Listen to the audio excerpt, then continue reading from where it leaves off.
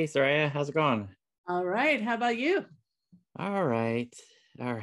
It's a tough weekend for us. It's going to be emotional weekend, but um, it's all death and life this weekend for us. So it's a I'm tough telling one. you, it's, this, these are wild times. Yeah. Yeah. So funeral today. Um, and tomorrow we're doing a co-ed um, baby shower for our 12th grandchild.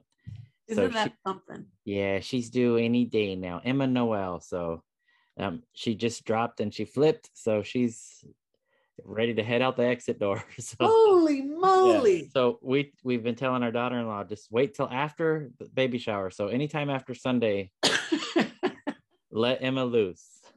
well, you need to tell Emma that. You need to, excuse me, God you need to you. get real close to her tummy and say, wait. yes, yes, yes. So today uh, we'll be talking about a band that's often connected with Paisley Underground for some reason. Um, Called, uh, uh, in a lot of places, they refer to this band as desert psychedelia. I think that's very adequate. Yeah, I like that description. Yeah. So the band is Thin White Rope, and today we'll be talking to their lead guitar player, Roger Kunkel. Kunkel. I think that's how you pronounce his name. So Roger was with the band uh, for pretty much the whole decade of their existence. So um, early 80s to early 90s. So I'm looking forward to uh, talking to Roger. And I think we might need a little bit of help um, Well, asking some know, questions. we have we have an additional host who who uh who, who's really useful in these situations He's all right.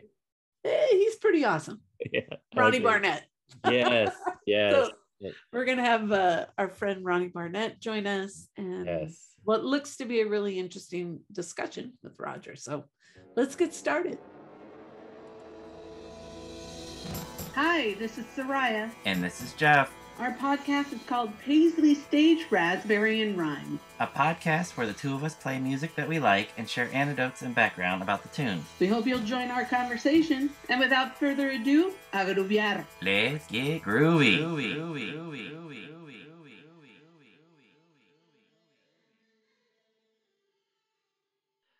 All right, Soraya. So today we, as we talked about in our intro, we're very excited because we've been wanting to talk about Thin White Rope for quite a while. Because uh, as we mentioned, Thin White Rope comes up in discussions quite a bit. And although we primarily focus on the Paisley Underground, we, we try to branch off a little bit and um, talk about music that's related in some way or another. And Thin White Rope, Ro- Thin White Rope is certainly related.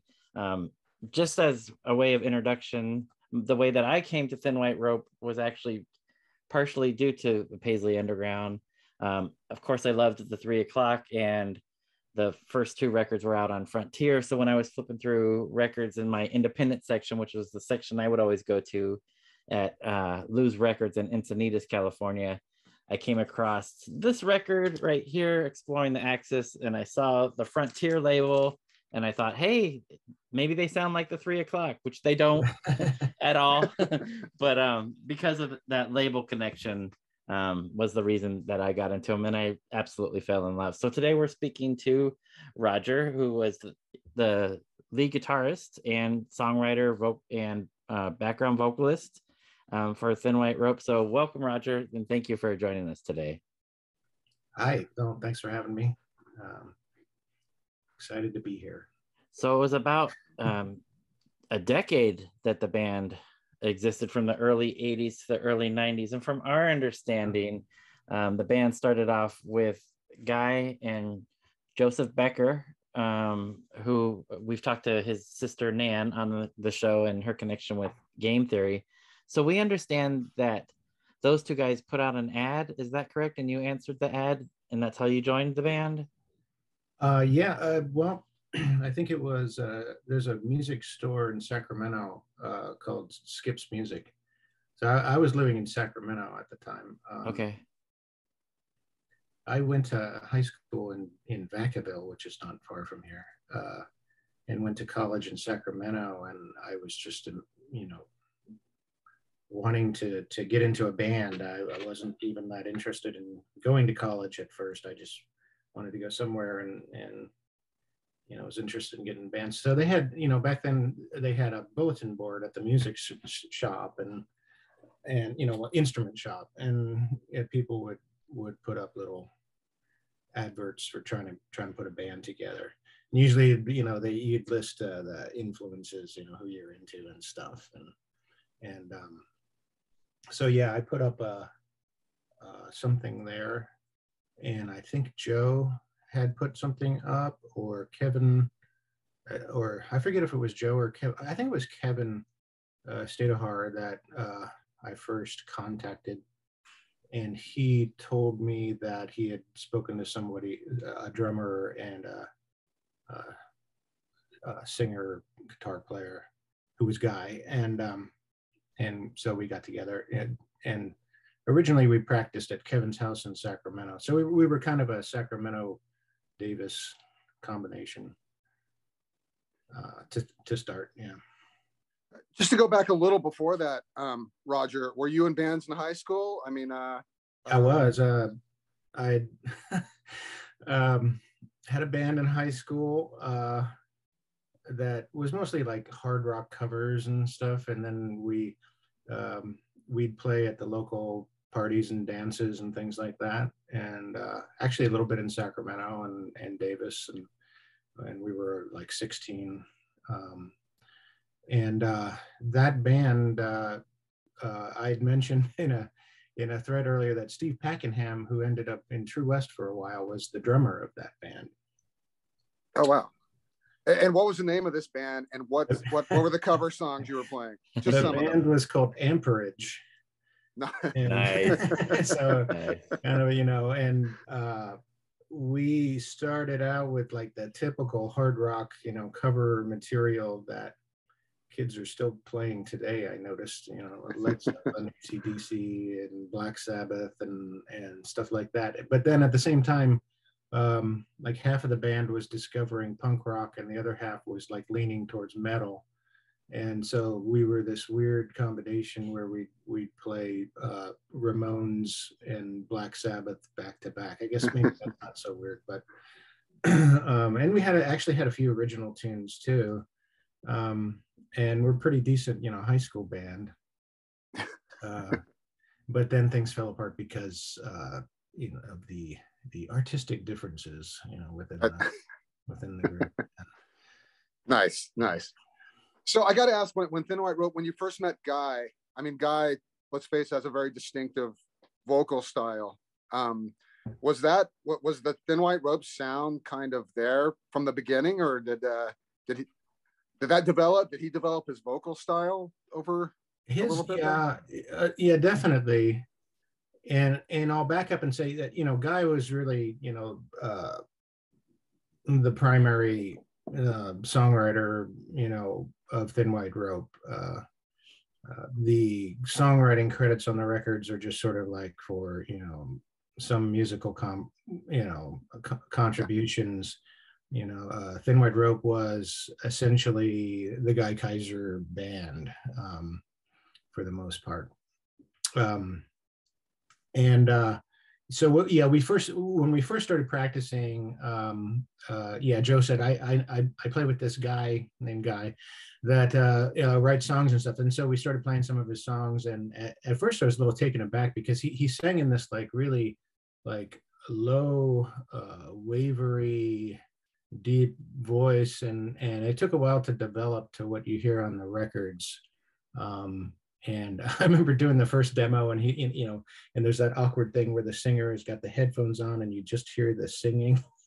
His voice was kind of bizarre really but uh, it didn't take long before it you know it was it was obvious that this was a person who uh, was you know very original very you know gifted songwriter and uh and had if anything uh, you know a unique voice and so that works. And um and yeah eventually over time he sort of physically developed his voice into this bigger gravelly thing you know that could scream and and scare people. Yeah you, you can kind of hear the development on that first album because like i'd say half the album is kind of dare, dare i say pop songs and then half is kind of the thin white rope, you know, kind of uh, I don't know how to describe it, but yeah, Thin White. I mean, no band sounds like Thin White Rope. Let's face it. Yeah. Um, His Yeah. voice was emerging. Yeah. Soraya, Yeah. what was the the definition that or the description that you often hear? Okay, so that what the desert psychedelia or the one that I it it says thin. This is from an article from 2016. Thin white rope were too harsh to be labeled as jangle, too loud for the emerging alternative country movement, and too dark to fit into the flowery Paisley underground. Yeah. But you know, it guy's voice is unique, but the sound, Ronnie, you hit it on the nose. No band sounds like Thin White Rope. no I, not only vocally i think musically as well I, there's like a, a sinister feel or a dark feel but still pop it's like a dark pop i guess as is how i would describe it but yeah there's nobody sounds like thin white rope Well, yeah, Um, uh, we'll get to the yeah guitar interplay, Roger. I mean, Right. with you and Guy. I mean, um, it's unbelievable. You know, I hate. I, I don't want to mention television, but you know, I'm sure you got television comparisons because uh, you know, you guys play off each other. And uh, did that just kind of happen naturally, or did you? Was it a conscious effort to make it happen? Well, I think we both. well, television was an influence for sure. Yeah. Uh, uh, we had some common influences going into it. Uh, uh, like we both liked old blues and and uh, country music. Um, I was kind of raised. Uh, my my my parents were listened to country music, sort of the slick country music of the 1960s, you know, like Patsy Cline and Jim Reeves and stuff like that. But I discovered some uh, Chet Atkins records when I was a kid, and that's what got me really started on guitar. And then, you know, I was in the right age where the whole uh, hard rock, you know, thing happened with heavy guitar sounds. And so I was really into, you know, a heavy distorted fuzz tone guitar and and stuff like that. And uh, and of course, most kids playing guitar at that time, I guess, were. Um, and uh, so I don't know. Uh, it did it start right away? Kind of. Uh, you know, guy was doing some like you know some uh, un, unorthodox stuff. You know, he's he's got that. He had that uh, Ovation breadwinner guitar, and he was like plugged into this solid state Marshall amp with uh, I forget what fuzz tone he was using at the time. Um, and it took a while to.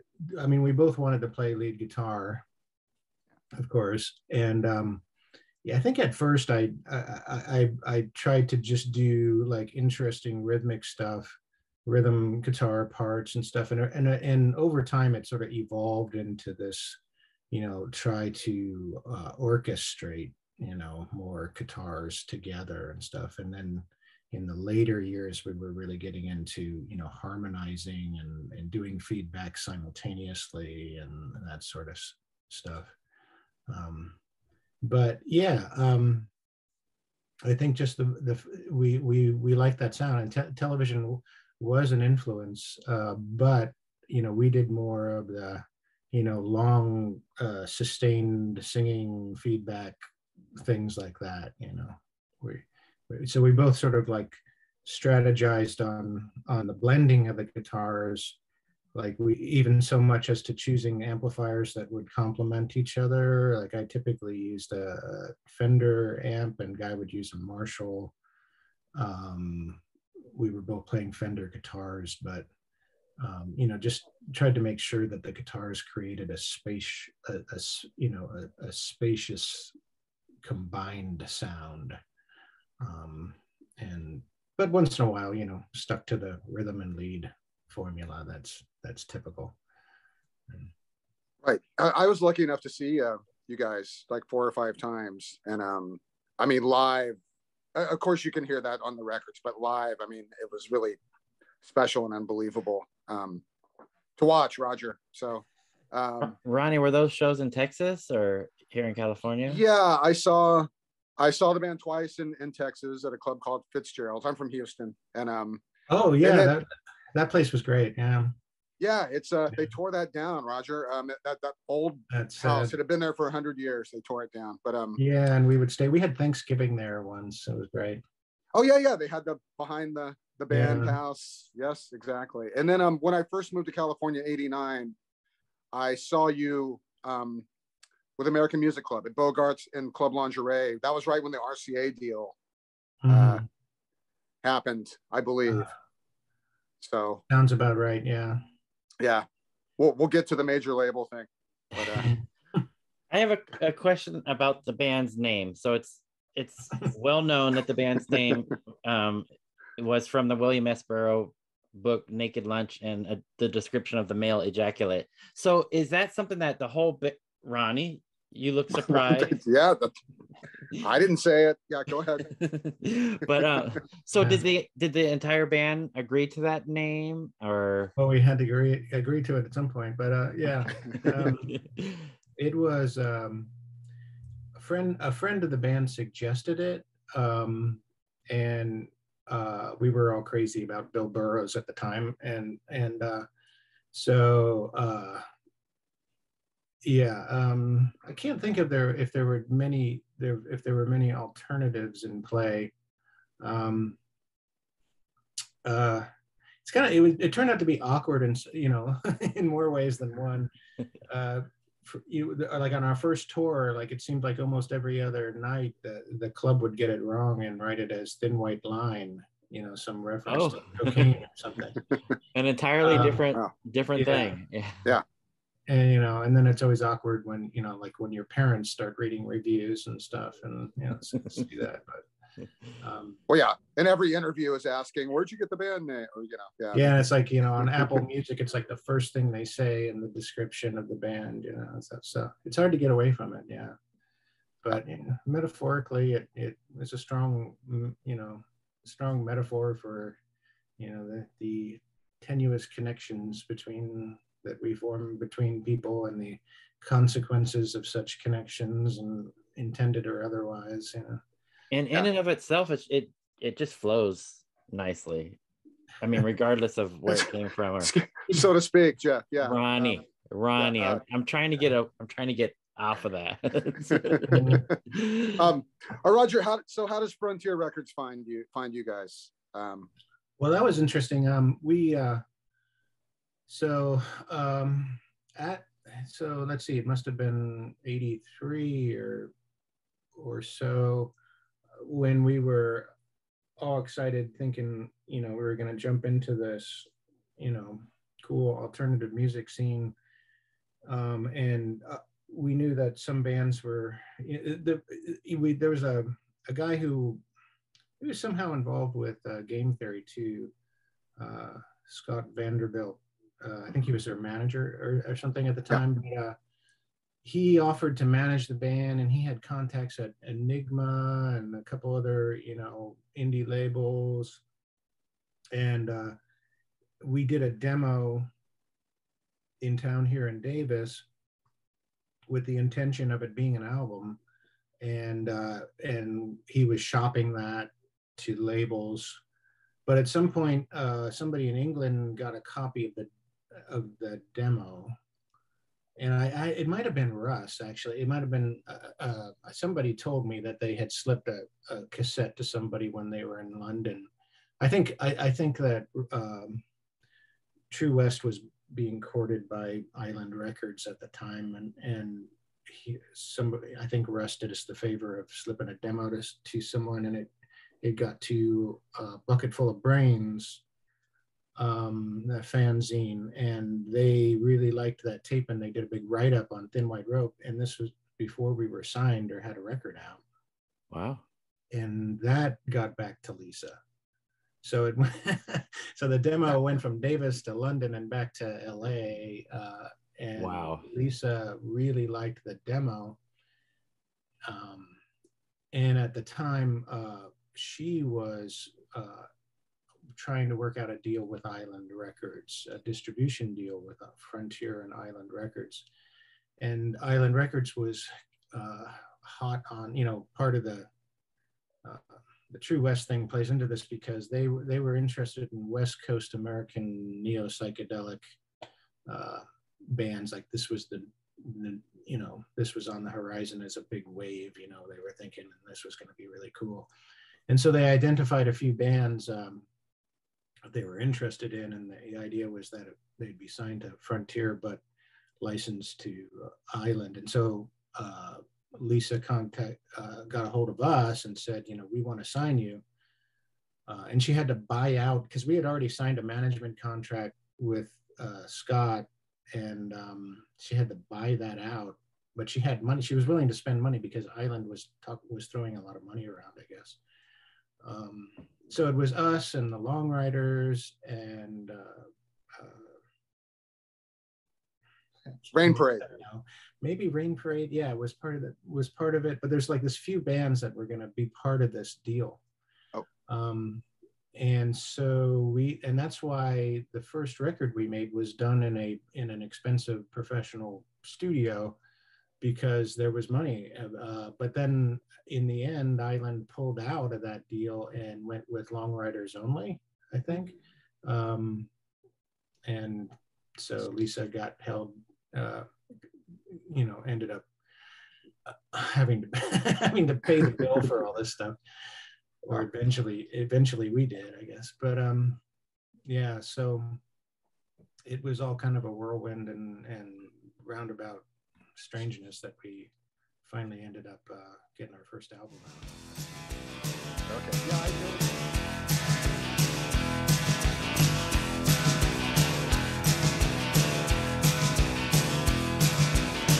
not like a passion,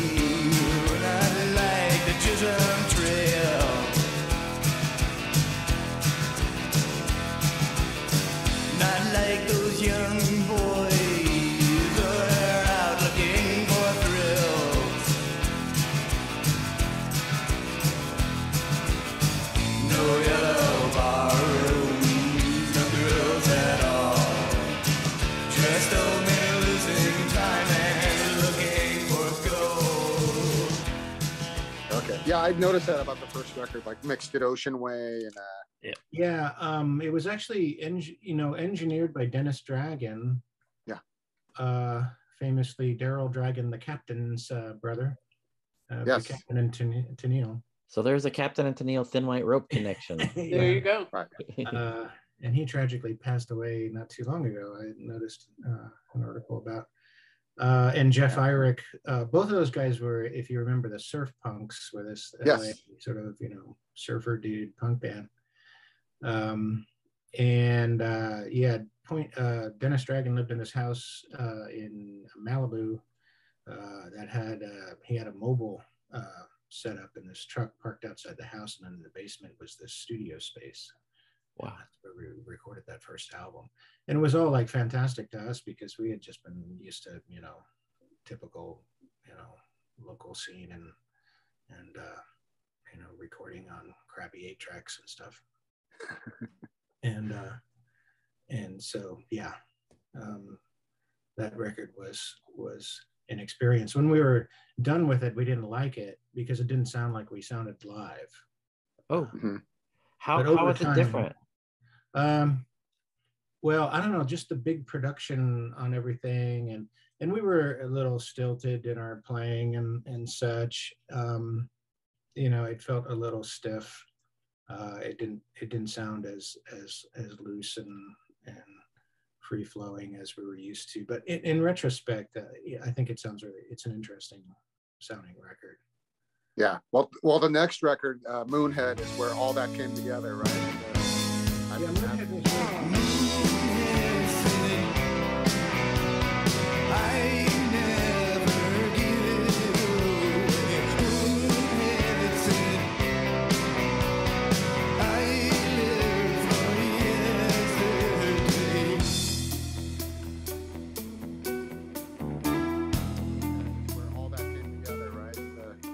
Yeah, Moonhead was where.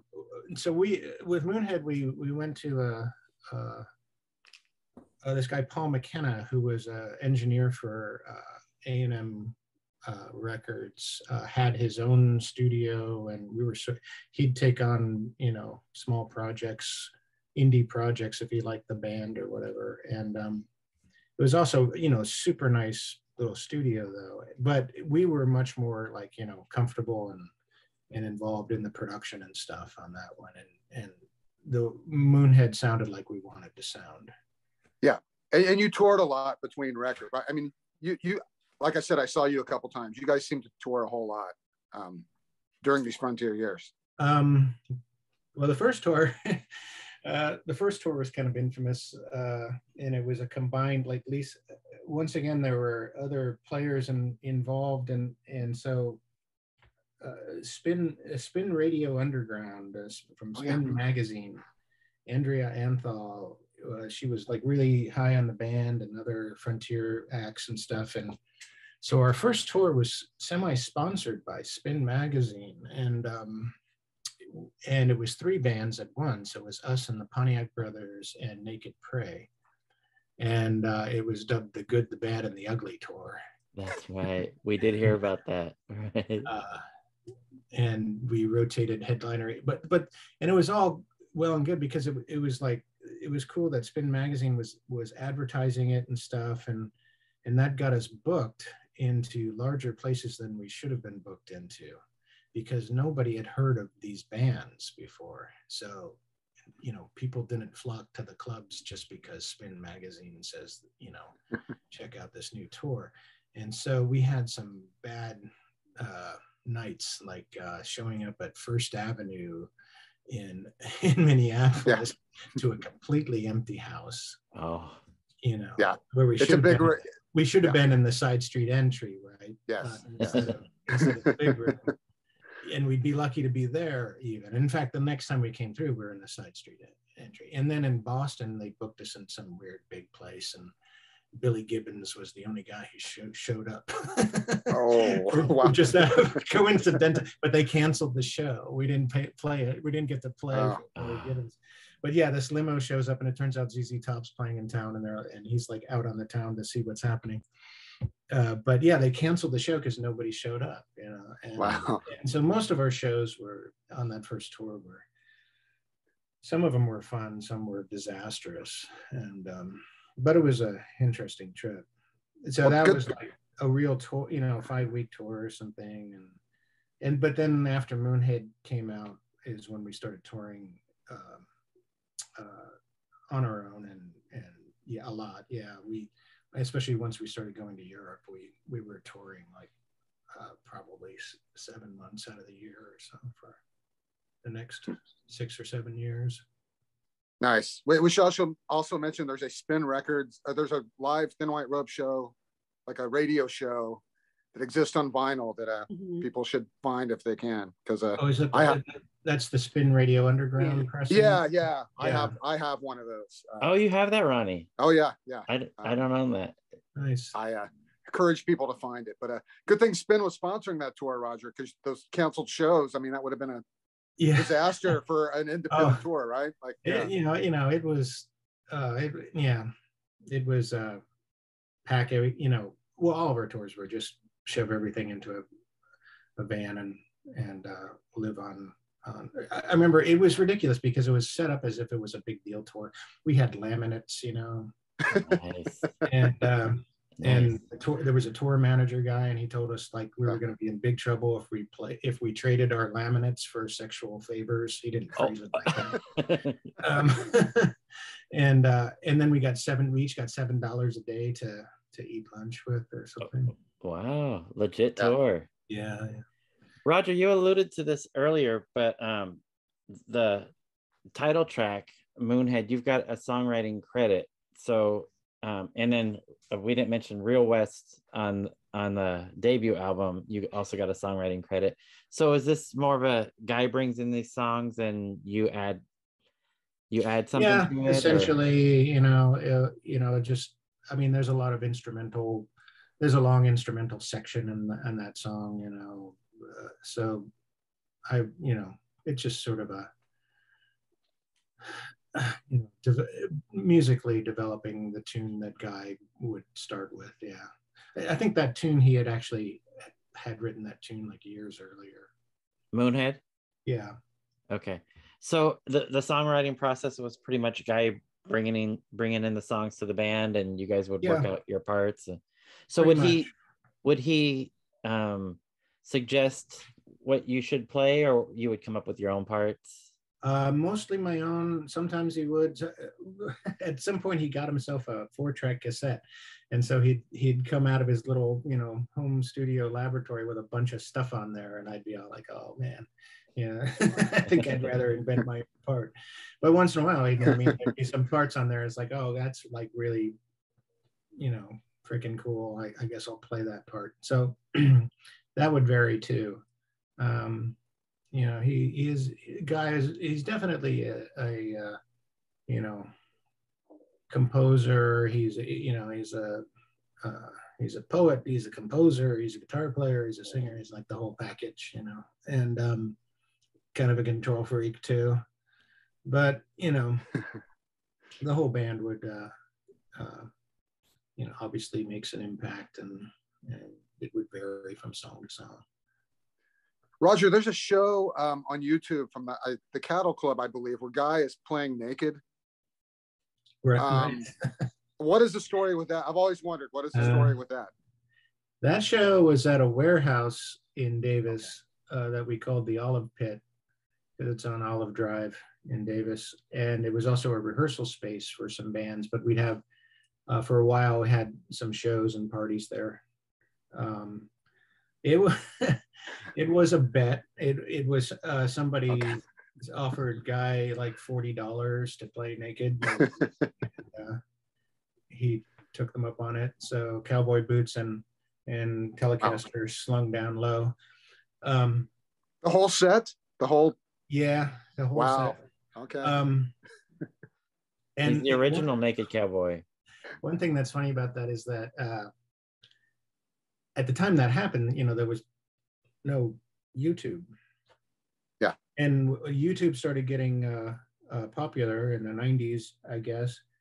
And sure enough, Thin White Rope stuff starts showing up. But that's the first thing that that someone posted uh, about Thin White Rope. And since and for years, uh, yeah, or mostly. And so for years, like if you googled thin white rope that would be the top item right you know so so i just thought it was hilarious that you know 10 years later uh you know if guy go if guy's on a computer and and goes to thin white rope he Yeah. sees himself naked so you know, it's pretty funny So that was just a one-time thing, not something that happened often. one time yeah definitely a one-time thing yeah yeah, it didn't become his uh Yeah. his his thing. Yeah. there's yeah.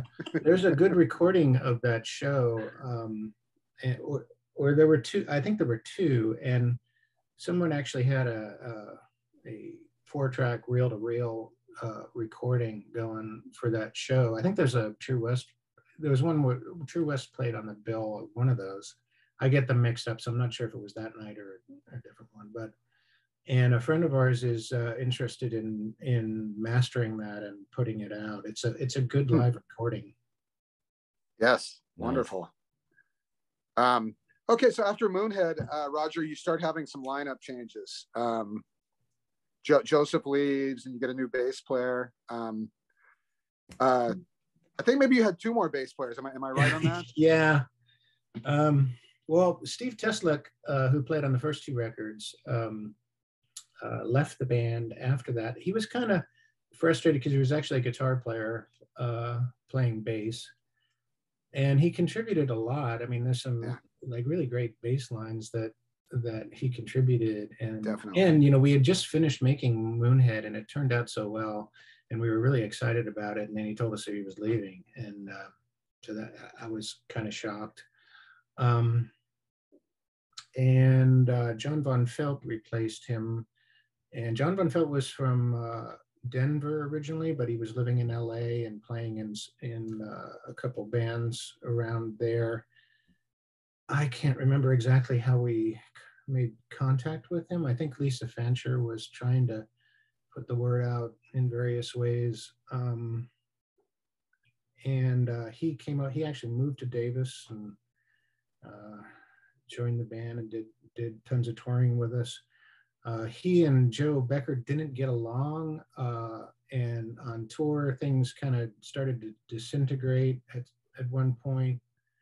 Um, and we decided we needed. Uh, Joe was having trouble uh, in his in the band and and on tour and and stuff and so we decided to replace joe and found uh, Matt Abourezk who had was also an la area drummer uh, and photographer um, and uh, he was like his style was different than joe's he was very powerful you know uh, it, and it really sort of pushed our live shows into another level of volume and and energy and stuff so that was good um But Joe and John both are on the recording, right? Of in the Spanish Cave. uh let's see um that's the third record Yep. uh yeah joe and john are on that yeah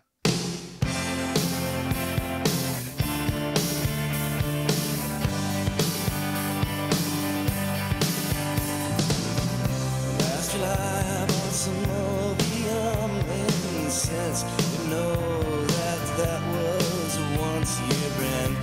Every time I spark it to erase the scent of your sadistic man.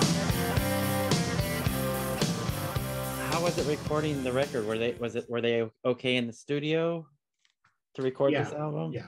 yeah there, there was just like the pressures of touring i i think. Um yeah it, it- it's it was we it's it's funny the guy and i were very much conscious of the the fact that you know turnover in a band is not a good thing you know? You don't have that you know cohesive thing where you're like ah we're all in this together and we've been doing it since we were kids you know sort of feeling. Um so it was uh, I, I don't know if i'd say regrettable but yeah i mean it, I, I do wish that we had managed to keep the original unit together um, in retrospect Um, Yeah. but you Well, know, like like you say, it's it's hard to tour. You know, you guys are in a van and you're probably sharing one hotel room and yeah that. Yeah, yeah, you know that you know that feeling yeah, yeah, yeah. Did you uh did you guys share beds like in one hotel room? Who was your who was Oh, your we- bed mate? yeah you had to either share beds or, or take turns on the floor you know and and a lot of times the floor of a of a motel six is not a place you want to lay down Yeah, Keep that in mind, Soraya and Jeff. Yes. yeah it wasn't very glamorous uh, well you know touring in europe was much better uh Oh. Yeah. um we were treated with respect in europe uh wow. In that we got hotel proper hotel rooms and and and meals and yeah so we loved uh we enjoyed europe a lot more uh than than the states just because it was just you know it was more comfortable it was more exotic it was the food was better and you know Right. enthusiastic and the shows were bigger and all that stuff Roger, did you do multiple tours in Europe? yeah we toured quite a lot um probably we'd we'd go to between moonhead and the end of the band we'd go to europe at least twice a year and usually for like three months at a time or so Wow. um, and uh it started with uh well the moonhead record had come out and uh uh, suddenly Lisa calls us and says, "There's a guy in Italy that wants to bring you to Italy," and uh, we had, you know, before we had ever we had been to Europe at all, and so we were like excited about that prospect, and we we did a week long trip in Italy, and when we got there, we discovered that we were rock stars in Italy, and like the record was had like getting lots of radio play. Wow. and uh, and we found ourselves on a bill with X and Billy Bragg. Wow. um, and Ten Thousand Maniacs at this like big outdoor festival, Nice. um, and we played in in like public parks with several thousand people and stuff, and so this was a big shock for us, and um, and so the Italian promoter who booked the tour continued to work with us, and he said, "Well, I'll bring you over again for a pro- for an actual European tour." But that was like, it was like us packed into a Vanagon, a Volkswagen Vanagon yes. with tiny little amplifiers, Yes. and uh, we made it into Germany and all the way into Norway and and stuff, and and uh, and that that was our first experiences in Europe, and then. Um, we find we made it. We we didn't make it to England until like the third time over, um, and then we started being booked by Paperclip out of uh, Holland, and uh, and then there was the Soviet tour, which was Whoa. this bizarre uh, uh, circumstance that um, deserves talking about. Yeah, yeah, yeah. We're How ready. many- Um, How many dates was that, and, and what kind of vehicle and, and uh, accommodations uh, were going on there? how much time do we have? Let's see. Um, it was so the Italian the, the Italian promoter uh, Paolo Bedini uh, in Rome uh, was friendlies friendly with uh, friends of his worked in the sort of Ministry of Arts of Italy or something, and they they were involved in some sort of uh, cultural exchange with with Russia with Moscow, where some uh, uh, Russian artists and musicians had come to Rome and performed and stuff, and then they were gonna reciprocate and, and send Italians to to uh, to uh, Russia. And uh, so Paolo decided to to hijack this process and put us in the mix. and um, even though we're an American band, and um, so he arranged this, and uh, we were there for like three weeks. Um, we flew to Moscow. Um, the Russians were somewhat surprised that a a rock band from America was was in the, in the mix, and they were looking at our passports and squinting. And we stayed in some weird hotel, and we played at this like theater with like high society folks in the audience with like minks on and stuff, and and um, it was on it was broadcast on soviet national television. And it was all quite surreal. And then they put us on a train um, this rickety wooden train that uh, went down to uh, tbilisi georgia. And we played at the uh, opera house of tbilisi georgia for like four nights in a row uh, to a packed audience through the strangest PA ever made and Polish amplifiers and and uh, and then the Armenian earthquake hit and shook the whole town and and we were stuck there for a few days.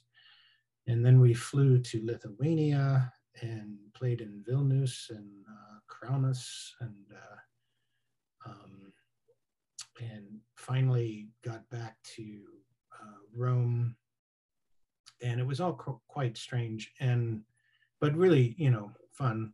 Um, and uh, we, by the time we got back to Rome, we we we they kept us there like a, a week or two longer than they said it was going to be, and so all of our flights were were gone, and it was almost Christmas. It was 1988, and um, we got. Uh, uh, we find we had we were stuck in Rome and because we couldn't find a flight home, and then we finally got booked on Pan Am 103, and we were all set to go um, when um, we could not find a connection from this Pan Am 103 was going to New York, and we needed a connection to San Francisco, and we couldn't find one, so we canceled our reservations at the last minute.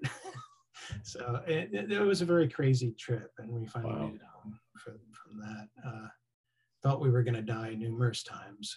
Guy almost got arrested by the Moscow police for urinating in public. Um, we we had this incredible. We had this evening in in Tbilisi where the locals like had us over for dinner, and we were already way too drunk on this strange green vodka that they that they like make in the underground on the black market, and they had us in this super traditional dinner that was all very nice, but it but it involved um, toasting with a giant horn filled with wine. You had you had to get up and make a toast and like chug the entire horn of wine, which was like a bottle of wine. Wow. And we were already way too drunk, and everybody started vomiting, and it, and chaos ensued. And people like ran and you know panicked and ran, and um, it was it was a very strange trip. Wow. Yeah, and we Like- and we found ourselves in weird places like that. We also went to Hungary and uh, Budapest, and this was all you know during the Soviet era. And uh, Wow. so it was pretty strange. What an experience. a lot of fun. Yeah, and then we, you know, we tried to concentrate on Germany and England and Scandinavia after. Yeah. wow. Okay. Um, man, I can't. I, I'm having a hard time recovering from that. Roger. That's a- that's the condensed. That's the highly conden- condensed I- version. I That's feel like I, hardcore. Uh, I feel like I'm on the. I was on the tour, and I'm. uh, Yeah. Um, probably. Okay, so- Yeah. Okay, so uh, the RCA deal happens now. Um, how how does that affect you, or does it at all? Are you still dealing with just Frontier, and then Mhm. they're just distributing? RCA is just distributing the records. Yeah, uh, mostly. Um, RCA was uh, pretty hands off. And uh, I'd, I'd say, if anything, it was a negative because, um, you know, at that time, most uh, uh, uh, self respecting, you know, indie underground band bands were very anti big label, you know. Including the distributors like Rough Trade in in Europe, essentially did not carry uh, major label uh, material. Like in in Germany, they, it was like the you know mark of the beast, and you got you know you got pushed aside. So we ended up selling uh, less uh, in in Europe than we did on the previous uh, record, I think. Um, so and they didn't they they didn't really do us many favors as far as like you know infusing a bunch of money for for advertising or uh, you know other promotion and stuff. It was just, you know, we got, you know, got the got to say, hey, I'm on a major label. Um, but um, yeah, and it it it it didn't really affect us very much. And and we actually were spending less on our recording. You know, the the fourth album was recorded with Tom Mallon in San Francisco. Um, and in his uh, studio, which was less expensive than what we had been doing. Yeah. So, Sack full of silver, 1990.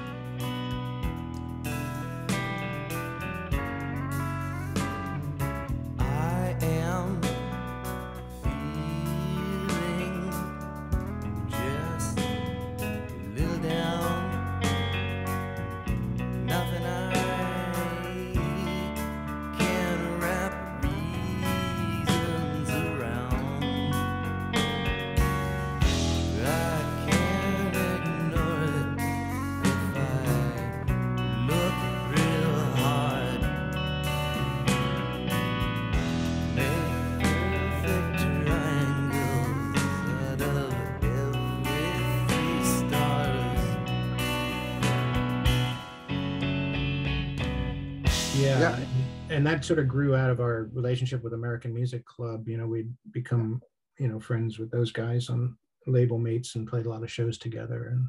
And and uh, uh, tom was uh, uh, just a really gifted uh, engineer and recordist. And i, I really like that record that that record. I don't know if it's my favorite but i i was really happy with how it came out Roger, Hmm. your your one co-write on the album has an odd name. It's not even really a name. It's a it's a it's a shape. Yeah. The, the triangle song. So Yes. uh, why the triangle song? uh, why did I get the co-write? Um just you know, I I think you know, like I say, guy, you know, obviously it was a it's a Guy Kyser song, uh, and it was just sort of a matter of like, oh, you know, which song did Roger contribute, you know, most to Oh, okay. in this batch, you know, sort of thing. So is he throwing you a bone? Yeah, pretty much. I'd say.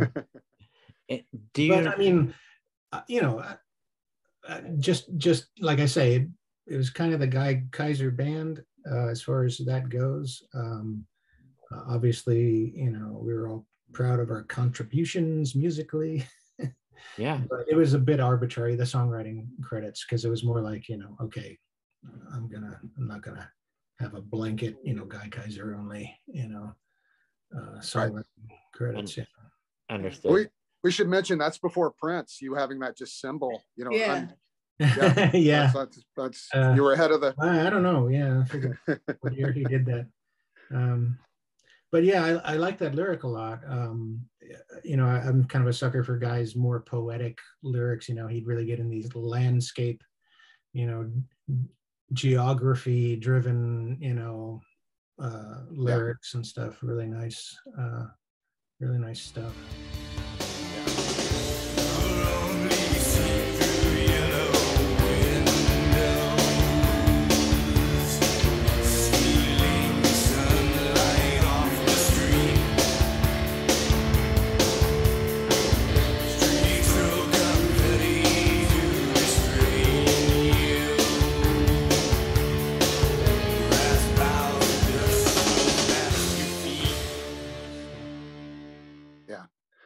Um, so so uh I guess we're to the kind of the the end. Like how how how does the band kind of decide to break up or does it just kind of fall apart or yeah, we have one more record there. but- yeah well i think i think guy you know guy was um and i want i don't want to speak too much for him but essentially you know guy was a very is a very private uh introverted person uh and being a front man of a rock and roll band was uh difficult for him just emotionally and you know uh and he was kind of struggling with it and um, infusing uh, himself with a lot of uh, alcohol and and you know to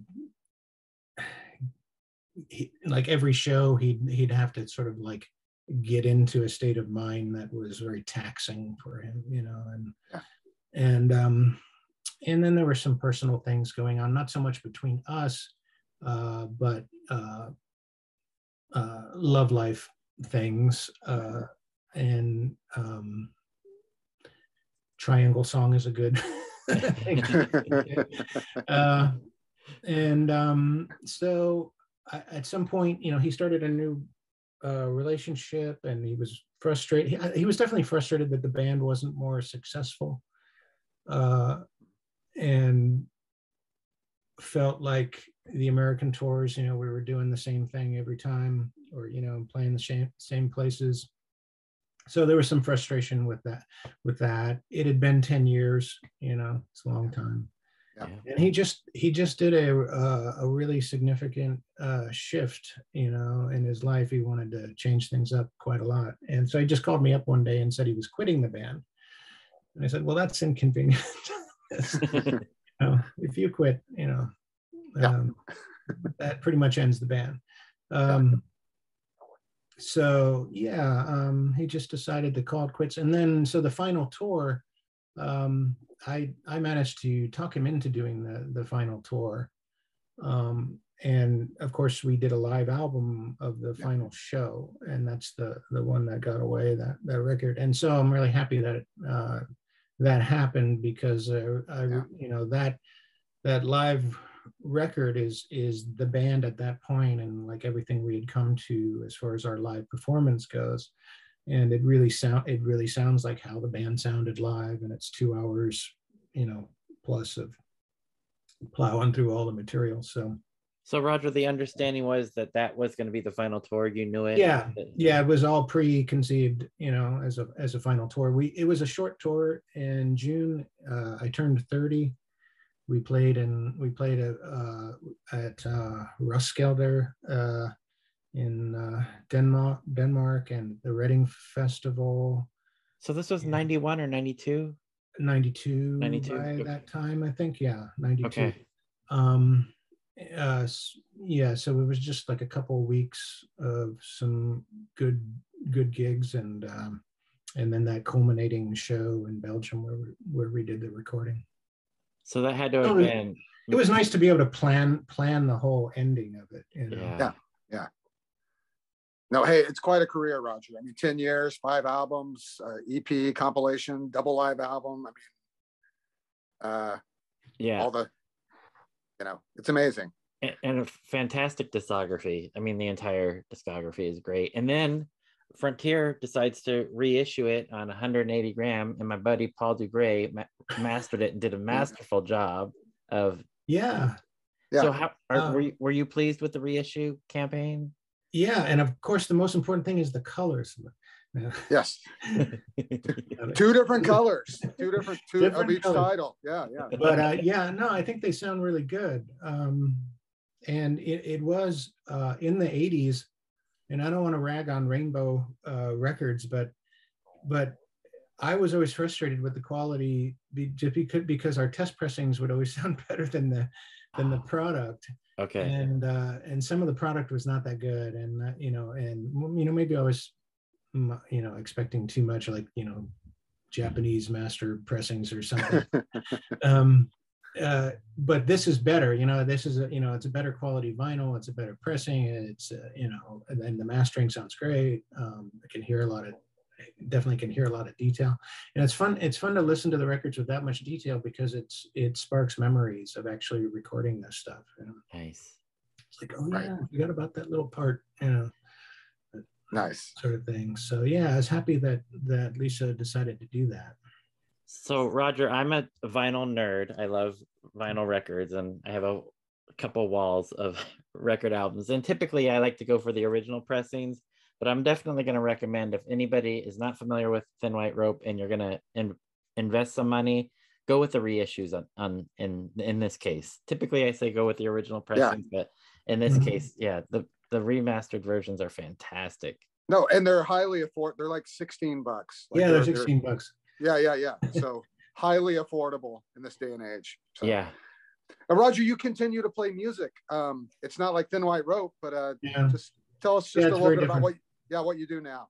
Yeah, well, you know, after the after the band broke up, I wanted to do something totally different. So I I, I had a band in the 90s called the Acme Rocket Quartet, and it was an instrumental uh, four piece, surprisingly. And uh, mostly my music, but sort of a collaboration, um, kind of surf, jazz, rock hybrid of stuff. And uh, we made three we made three CDs and it was all I- got into recording. I bought some basic equipment and an eight track and I did all the recording myself. I I sold off my solid body guitars and just got an, a crappy old uh, archtop and uh, did like this pseudo jazz uh, stuff. We we sort of got lumped into the lounge the lounge scene in, in San Francisco at the time, and so we played at like Bruno's and and and uh, bimbos once and like big warehouse parties and things like that. But the band didn't tour at all. None of us were keen on touring at the time. Uh, so we made we made three CDs and those are on Bandcamp, uh, Acme Rocket Quartet. And then, so then I, I got pretty into bluegrass, uh, um, you know, and old time. And you know, it's just nice to be able to play acoustic instruments, you know, when you're in your house with your children and stuff. Um, and uh, and actually, Guy was getting Guy, Guy became a banjo player, and we, we actually had a bluegrass band together for a while, uh, around 2008 or something. So we did a demo. I actually had had hopes that we'd we'd uh, pursue that, but one of the one of the band members, I was playing mandolin and Guy was playing uh, uh, banjo, and I, I I do have a demo recording, but it's not super good quality. And then the guitar player moved away, and we never managed to get it back together. And then all of a sudden, Guy was, you know, deciding he didn't want to perform uh, again. Um, and uh, recently, uh, I play in a I play in like sort of a honky tonk classic country roadhouse kind of band called Mike Blanchard and the Californios, and we sort of we do the the beer circuit basically, you know, the, uh, all the brew pubs and stuff around the area, and that's a lot of fun. And um, I'm pursuing becoming a solo guitarist. Um, and I I made a CD that's on Bandcamp that's solo acoustic guitar. Uh, and I was just getting into getting out and performing during that before the lockdown. So I haven't done a whole Yeah. lot of that yet. Uh, I got out just before the lockdown. I, I was starting to get out and play and sort of guest, you know, playing with people here and there. And I, I did a show with Russ in LA, or just a couple songs actually, and that was fun. Uh, and uh, yeah, so I, I'd I'd love to get out and play more. I'm kind of envious of you know bands of the '80s that have you know reformed and are actually able to tour and, and you know do that sort of stuff. Maybe it could still happen, Roger. Yeah. Thin White Rope reunion. Maybe. Yeah, well, no one's been able to able to convince Guy. Yeah. Well, maybe he's. It sounds like he he goes in and out of uh, wanting to play music, so you never know. yeah, right? who knows? Yeah. Yeah, So you know, Yeah. Roger, as soon as he sees this episode of Paisley Stage Raspberry and Rhyme, it's all gonna flip. It's gonna be like, yes, yes, let's do this. Yes. Expect a phone call next week. right. Guy's gonna be on the phone. Let's take come on, Roger, let's take this on the road. Let's give Joe a call. Yeah. Wonderful. And we should tell people to join the Thin White Rope uh, fan page on Facebook because Roger will occasionally put up a uh, a clip of him playing, and uh, yeah, absolutely. Roger's an amazing player. Uh, so I know you're right here, Roger, but yeah, Roger's an amazing player. thank you. Yeah, Yeah. Thank you so much, Roger, for taking time to, to walk us through uh, the history of the band. It was it, it was only a decade, but it was a very impactful um, career for the band, at least for me. It all started off with that seeing that Frontier label on the back Mhm. of Exploring the Axis, and um, yeah. but all, Well, all the records are fantastic. thank goodness for Lisa Fancher and uh, Yeah. Frontier Records. Yeah, Yeah. we had her on the show, and she's very supportive of the band, even to this day. Mhm.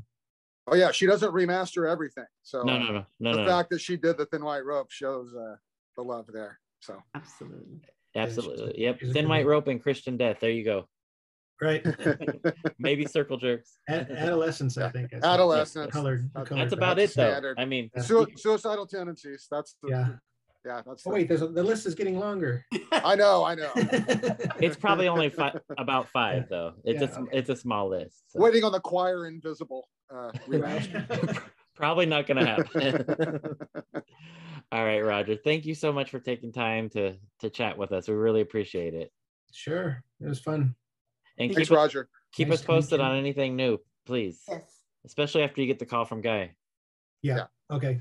I'll see you in Davis, Roger. I'll see you in Davis. I'll see you in Davis Okay. or Carlos, Sacramento. Okay. Yep. Thank All you right. so much. We really appreciate it. All right. Bye-bye. Bye bye. Ronnie, Oh, thank you for making he's that gone. happen. Wow. Of course. Yeah. Thanks for having me along, guy. I don't mean to, be, mean to keep crashing these things, but uh, No, but thanks for having me along. Uh, oh no. and you know, if if anything, let me see. What are some of the things we learned? First of all, the walk through the five albums was really interesting to me, and Guy seems to be much more enigmatic now than when we started recording. Oh, I, yeah. I had I I think just hearing a little more about him, and he just seems more like a puzzle. Yeah.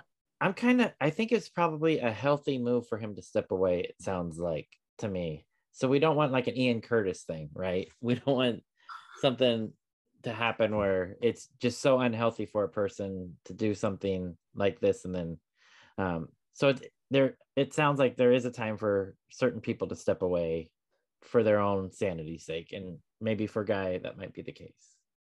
yeah. Well, there's that. And, and there's also the fact that he, you know, all his work is that, that it's intact, right? He didn't make a, a weird, uh, you know, crappy solo album or have a half-ass band that he tried to, you know what I mean? Like it's, it's, He never made the elder is what you're trying to say. he know he he's he, he didn't make his elder, which God, now don't put it in those terms, Jeff. We need we we could use his elder, but um yeah no no you could like I was talking about seeing them live. It was very guy was very intense. Like he wasn't he wasn't a hey thanks for coming you guys uh kind of thing. Um I guess you can see it on YouTube and some live clips, including that naked show. Yeah, Um, I, I, I've seen all of those, but I never got to see them in person Yeah. live. So I'm And glad that you had that opportunity and were able to share your experience. Yeah, and guys doing that that the, those intense like vibrato-y, that's guy, you know, the Yeah. you know, and Rod and Roger generally is doing the kind of dare I say clean kind of stuff behind though they though they have their moments about doing feedback, like he said. And Yeah. it, it really was a quite a guitar team and like as you can imagine, just unbelievable to watch. Um Wow. and uh yeah, Soraya, that original sound, right? Soraya. I mean, I mean, no one But that, it's a cliche to almost say that. Like they sound like nobody, but no, they, they nobody sounds like Thin White Rope. But see, and then when Roger added that detail about there even came, they came to a point of wanting to kind of create this sound together that they were finding complementary amps. Yeah. You yeah, know, yeah, yeah. That was a that that was a detail that I, I I don't think I could have ever imagined that they were just looking for other ways to kind of expand the sound that they created together.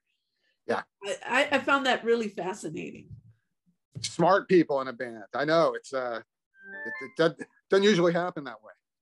Um, and I will add for anybody that um it, it- that thin white rope might be new to. I doubt that there's anybody of our listeners that are in that category. So I bought all of the reissues in one sitting from Lisa, and um she said since I bought all five that she would give me a deal. So she gave me a great deal on all five. Ronnie, you mentioned that they're already um well priced. But um, Yeah. she, she knocked off a lot when I bought all five of them. So I don't know if that's an option for everybody, but there's I was gonna say you, you might not want to publicize that. I know, I know. but there is this too. So there is this compilation. Oh, that's right. So, so when Is that world, Spanish only? Yeah, yeah. That's that's an import, right? Yeah, it's so it's actually put out on Frontier. Um, Okay. but um, it might be a good place to start if you don't want to jump in and get all all five. So it's got something from all of their releases. So it's a good when when worlds collide is might be a good place for somebody to start if they just want to start with one. But But but but if they're gonna start with one and they start with a real record, get this Moon, one. That's the Moonhead. Yeah, yeah, yeah, yeah. That's the one. That's the that's the. I mean, you know, the- I yeah, I don't want to play favorites here. I mean, the first three are all really great. So And are the, any uh, of those any of your records signed, Ronnie? You have to see them. Yeah, yeah, yeah. times. They they are. Um, I'm sorry I don't have them handy, but uh, yeah, my my my uh, my first three records are, are signed. Wow. Um, and they're very. I'm sorry I don't have them handy. They're they they're they're they're elaborately signed too. Like they they didn't write didn't just write a signature, you know, like I do, and just be done with it. And just be done with it. Yeah, they they, they say funny things. Yeah, yeah, yeah. So, nice. Oh, that's awesome. Very but nice. uh, but uh, yeah, lucky enough to to have seen them. and, uh. Yeah, one of my favorite bands. So thanks for thanks for having me around. You guys. Yeah. Yeah, we've been wanting to do this for a while. And we didn't go too much into it, but um, as Soraya had mentioned, they often get thrown into this Paisley Underground umbrella. I don't know why. I, I don't.